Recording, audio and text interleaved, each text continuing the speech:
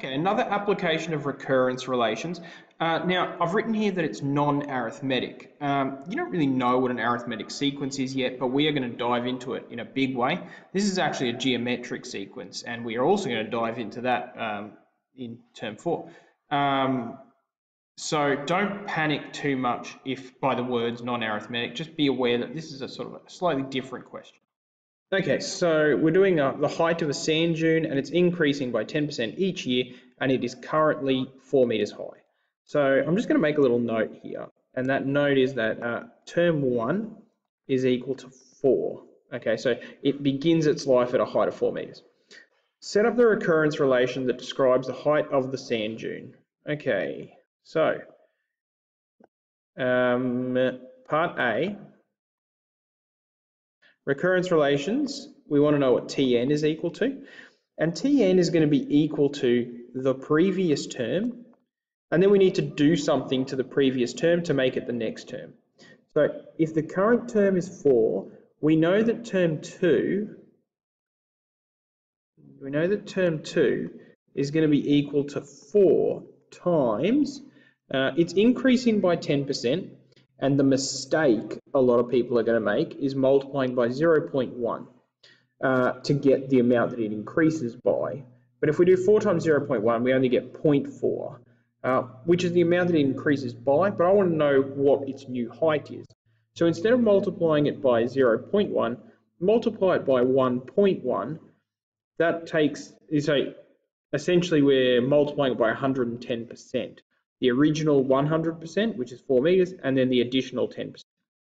Okay, so if we want to know what Tn is, we can take Tn minus 1 and then multiply it by 1.1. And that'll work uh, for the next term as well. So if I've got term 3, that's going to be equal to 4 times 1.1 because that's what term 2 is. So that's term 2 and then I'm going to multiply that by 1.1. And if I wanted to know what term 4 was, I'd say that's 4 times 1.1 times 1.1 times 1.1 um, because this was term 3 and then I multiply it by another 1.1 to get term 4. Okay, but I'm getting ahead of myself. I can just rewrite that just a little bit neatly. I can say that t to the n equals 1.1 times uh, t n minus 1. All right, Done. Next, write down an expression for Tn in terms of n. Okay, so instead of doing it in terms of Tn minus 1, we're going to do it in terms of n. And the secret is in what I've already started doing right here. Um, now, term 1 is equal to 4. Term 2 is equal to 4 times 1.1. Term 3 is equal to 4 times 1.1 times 1.1. Now, if you notice where I put the brackets, I've put a bracket here and here. So I'll just get rid of them and I'll say that it's equal to 4 times 1.1 times 1.1.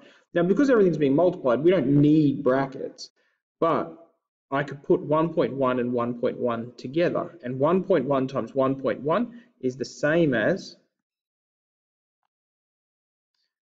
1.1 squared. And similarly, I had brackets here, I can get rid of them. That's a bit difficult.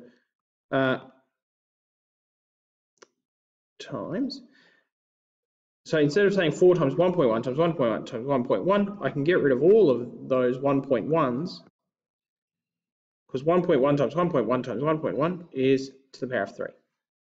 Okay, so you can see a pattern starting to form there, and we can say that t to the n, or tn, nth term, is equal to 4 times always 1.1 and then look at the pattern here.